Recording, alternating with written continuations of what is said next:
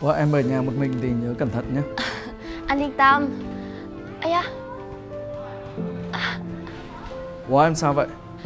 Chắc em chắc em sắp sinh rồi anh ơi. Ủa chồng em đâu? Sao rồi sao rồi? Ủa em là cha đứa bé à? Dạ. Đừng có nói nhiều nữa Đưa vợ đi bệnh viện đi. Xin lỗi em đến muộn ạ. Ủa anh là ai? Tôi là cha của đứa bé. Ủa sao lại là cha đứa bé nữa? À rồi đi thôi Anh đến rồi, anh đến rồi. Wow, anh cũng là bố đứa bé nữa Dạ, em cũng là bố của đứa bé. Đủ vàng tiếng lên rồi đó. Các em thế này là sao đây? Dạ, tụi em là đồng đội của bố đứa bé. Tụi em là lính cứu hỏa. Có chuyện gì vậy anh? Nếu anh có chuyện gì, nhờ các em chăm sóc mẹ con cô ấy giùm anh.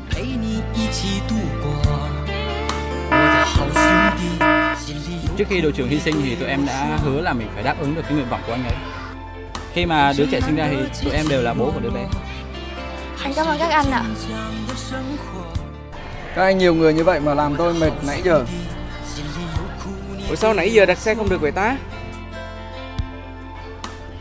Xe anh để ở bên ngoài ấy.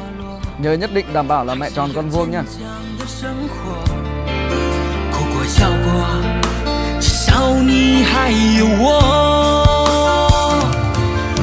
的